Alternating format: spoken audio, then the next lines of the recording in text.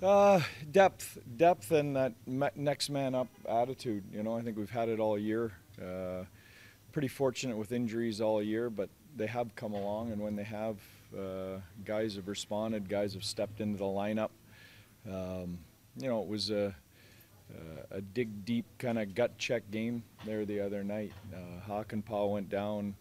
Uh, obviously, Heiskanen was playing hurt. Uh, Dellandrea went down with the flu. Marchment went down. You know, everybody stepped up and found a way to grit out a win. Do you have any updates on the availability of those guys? Uh, no, not really. Um, you know, nothing looks serious or long term, but uh, I would put them all as game time decisions tomorrow. I know a seven game series can kind of be a chess match with a series of you know responding moves from each team. By game five, is did the chess moves kind of run out a little bit? Yeah. Is it just more about talent and grit, or Yeah. Well, you know what? You're absolutely right. I think the chess moves do run out. I think there's a real familiarity between the two teams by this point in the series, and it's just whoever can kind of impose their game on, on the other team for the longest amount of time. It's scary almost how many similarities on paper there seem to be from the round one series and how Yeah. that played out going six games and, and how this thing is trending right now. Are there similarities in your mind? Yeah, big similarities. You know, the first the first uh, four games feel real similar. Um, you know, let's hope game five and six are similar. Those were our two best games of the first round. You know, I thought I thought we really found another level, got better as the series went on. I think that's the goal here uh, tomorrow. What was the turning point in your mind with Minnesota? Uh, I think I think game four. Um, you know, I think the difference was uh, Jake stole us game four in Minnesota. We didn't play as well as we did last night. Um, you know, and when we stole game four, I think our, our group kind of woke up and and found another level in five and six. I thought we played really well last night. We've got to maintain that level. You, you mentioned this last night, but now that you've had the evening to sleep on it, Miro's performance, given what Yeah. Yeah, it was it was amazing. I mean, we talked. You know, I used the word kind of epic with Joe Pavelski's performance in Game One with the four goals. You know, I, I would put Miro's uh, performance in that category too. Uh, coming, what he dealt with, kind of the 48 hours prior to the game, and then playing, and then playing at the level he did for the amount of minutes he did was, uh, you know, superhuman. For the more casual hockey fan, maybe how can you put into words just how important and special a guy like that is who's maybe not at the end of a lot of goals? Yeah, um, he controls the game. You know, I think I think if you're a, any kind of hockey fan or come out to a Dallas Stars game, you know, you watch the game.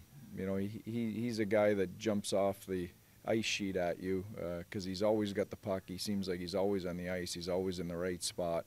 You know, so even if you're not a knowledgeable hockey fan, I think uh, you know his talents uh, kind of pop right out at you. Jake obviously had great performances in games five and six last series. Is there any maybe switch you saw last series that could replicate kind of with this game five and six? Well, I, I think that's his mentality. I think I think he understands as the series goes deeper the importance of the games, and, and he has the ability to raise his level. That's what makes him elite. So that's what we're looking for. Robertson hasn't scored in five straight games. I think that's his longest drought since early December. Um, vocal about that in the room? He's not really concerned about it. Where is he at with that? Yeah, I, I- think uh, he's a scorer, so of, of course he's concerned. I, I think that's a good thing for us. You know, we're, we're, we're still winning games. He could have had three last game, so I think it's just a matter of time. You feel like it's a positive regression deal, like he's he's had opportunities. Yeah, yeah, you're, yeah. He, he's he, he's not gonna. This isn't gonna last much longer. You know, you can tell every game he gets a little closer. I thought last game, you know, easily could have had a few. So I would expect. Uh, I wouldn't be surprised if it's tomorrow night. I was doing a feature just on him with the King Clancy. How important is it to have that community service? And you know, it just Yeah. seems like uh, he's this is the second year he's been nominated. Yeah, uh, well, I, I think it's great, and it's great for young players to recognize uh, the importance of getting involved in your community and, and, and charitable work and the responsibility that comes with being a pro athlete in a city. Um, and I think he gets that. I know you spoke about obviously the tragedy in You know, any more thoughts on that and just uh, trying to honor Yeah. people tomorrow?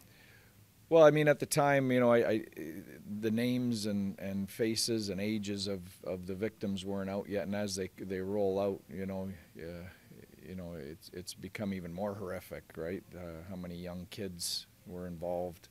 Um, but you know, I, I said my piece on it. Uh, it was heartfelt, um, but I don't want it to be about my perspective. You know, this is about uh, healing and hopefully coming up with some answers moving forward.